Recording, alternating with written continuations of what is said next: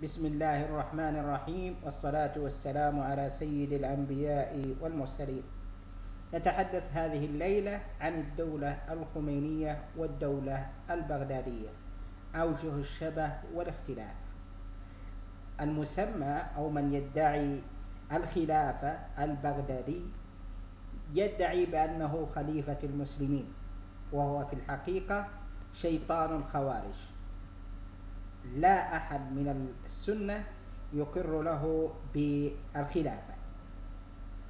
بينما في إيران قد سبقه الخميني بولاية الفقيه وهي مساوية للخلافة. يدعي أنه ولي الفقيه وأن الشيعة في جميع أصقاع الأرض يجب أن يتبعوا ذلك الولي وهو حقق نجاح في هذا. لذكاء ذلك الخميني وأنا أتحدث عن الخميني وليس علي خامنائي بل روح الله الخميني وهو روح الشيطان والعياذ بالله. حقق نجاحات معينة لأسباب كثيرة. أولا أن من يتبعه هم الشيعة والشيعة آه، ثبت في التاريخ بأنهم يحبون الخرافة. يتبعون كل ناعق وكل ناهق. فالخميني هو أحد من نظر لذلك وصدقه الشيعة واتبعوه. إما في الناحية الثانية بالنسبة للبغدادي فهو يدعي الخلافة على أهل السنة وأهل السنة لا يتبعون كل ناعق وإنما يتبعون الدليل. فما دليل البغدادي على أنه ذلك الرجل الذي يجب على السنة أن يقتدوا به وأن يكون خليفة عليهم وهو زنديق خارجي. هذا أما بالنسبة للدولة وتوسعها فالخميني سمى ثورته الثورة الإسلامية والبغدادي سمى دولته الدولة الإسلامية. فالخميني يقول ببقاء الثورة ويقول بتمددها بمعنى تصدير الثورة. البغدادي أيضا يقول بأن دولته باقية وتتمدد. الخميني آه، وضع أذرعة له أو أسس أذرعة له في العالم العربي على نحو حزب الله حزب الله في الكويت حزب الله في السعودية حزب الله في اليمن. فهو منذ أن أنشأ تلك الدولة أو تلك الثورة بنى آه، العملاء أو أسس لعملاء داخل العالم العربي لأجل أن يصدر تلك الثورة. البغدادي يعمل نفس الشيء نفسه فعنده الآن مبايعين من في المغرب العربي وفي أندونيسيا أو ميليسيا وبوكو حرام أخيرا بايعت ذلك الخليفة الزنديق. فهناك تشابه ما بين الاثنين في هذه الناحية. الخميني كما قلنا أنشأ تلك الجماعات في العالم العربي لأهداف وبطريقة ذكية جدا ليست كما طريقة البغدادي. أنشأها في جنوب لبنان بحجة معاداة أو محاربة إسرائيل وأنشأها في اليمن بحجة أن الزيديين أو الحوثيين يضطهدون من قبل السلطة وأنشأها في في وأنشأها في العراق بحجة محاربة الأمريكيين. فهم أذكياء في إنشاء تلك المجموعات والخميني هو ذكي شيطان ذكي. بينما البغدادي رجل أحمق لا يعرف في السياسة من شيء. فالدليل في ذلك أن ذلك الأحمق البغدادي عاد الجميع وهدد الجميع ولم يكن له أي صديق في أي بقعة من الأرض بسبب بسبب حمقه. فقد دخل إلى العراق وربما كان البعض يريد أن يستخدمه آه، كشوكة في في في في نحر إيران يقاتل الروافض ولا يقاتل السنة.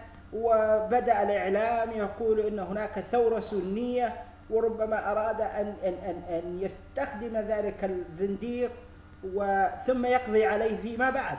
لكنه أبى إلا أن يهاجم الأكراد ويقطع رؤوس الأمريكيين ويهدد أنه سيصل إلى روسيا فهو أحمق بكل بكل ما تعني الكلمة. قلنا أن بالنسبة للعمالة كلا الرجلين عملان عملين للغرب. فالخميني أتي به أتي بالخميني لأسباب معينة. فعندما آه، الملك فيصل رحمه الله جمع المسلمين بعد بعد المشكلة التي حصلت في القدس وإحراق اليهود للقدس الشريف بدأ آه، بدأ الملك فيصل في جمع المسلمين وكانت بوادر ذلك الرابطة الإسلامية أو منظمة المؤتمر الإسلامي. و فما كان من الصهاينة إلا أن يأتوا برجل يشق عصا المسلمين يدعي أنه الولي الفقيه وأنه المنقذ للشيعة فيصبح هناك صراع ما بين السنة وبين الشيعة. ثم حرب الثلاثة والسبعين عندما انتصر العرب على إسرائيل آه، كان ذلك النصر آه، آه، دليل على شيء من التوحد عند العالم العربي والتكاتف وأن وأنهم حددوا العدو المشترك وهو إسرائيل. فلا بد أن يؤتى بعدو آخر يشغل العالم العربي ويصبح العالم العربي يتجه أو يحدد عدوا آخر أكثر خطورة من إسرائيل. فما كان من الغرب إلا أن ساعد في إنشاء ثورة الخميني بالنسبة للبغدادي أيضا هو أتي به أو صنعه الصهاينة لأجل أن يشوه المسلمين سمعة الإسلام وسمعة المسلمين وأن ينشئ حروب طائفية sorry. وربما أستخدم وربما كان من من أهدافهم أيضا هو إضعاف آه، آه، آه، الشيعة وإضعاف تلك المكونات التي ترتبط بإيران. ولكن الرجل أحمق بكل ما تعنيه الكلمة لا يخدم أحدا بل يهلك نفسه بنفسه. أعني بذلك البغدادي. الجماعات المسلحة في العالم العربي. لماذا ندع هذه رؤية؟ وليست في مجال المقارنة. لماذا ندع لإيران أن تسلح الشيعة في العالم العربي؟ لماذا لا نقول لإيران كفى تسليحا للشيعة في عالمنا العربي؟ فمثلا حزب الله الآن الذي يدعي محاربة إسرائيل الآن هو يحارب في سوريا وليس في إسرائيل. فهو يخدم أجندات فارسية. ليس له دخل بالصراع العربي الإسرائيلي. لا من قريب ولا من بعيد. فهؤلاء هم خدام لأجندات الروافض لأجندات إيران الخمينية. فلماذا نسمح لهم بأن يفعلوا ذلك؟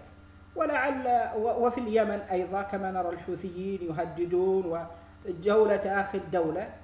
فربما يرى السنة مثل البغدادي أو غيره يقول أرى هؤلاء يتعايشون مع المجتمع والدول العربية تقبلهم داخلها ويصبحون دولة داخل الدولة فلماذا لا أنشئ أنا دولتي أيضا؟ فيجب القضاء على تلك الجماعات التي داخل الدول العربية وتعمل على تقويض تلك الدول وتعمل لأجندات خارجية. إذا كنا نريد أمن عربي مشترك إذا كنا نريد أن نحسن الأمن العربي المشترك. فهذا هذه رؤيتي بالنسبة لهذا الوضع. ف وأختم بذلك وأقول آه، إن أصبت فمن الله وإن أخطأت فمن نفسي والشيطان والسلام عليكم ورحمة الله وبركاته.